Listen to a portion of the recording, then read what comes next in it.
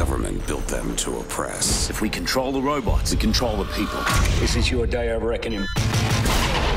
The people stole one to fight back. Reprogram the robot. He's the key to the revolution. A machine that can think and feel. I am Chappie. Can outsmart the enemy and free us all.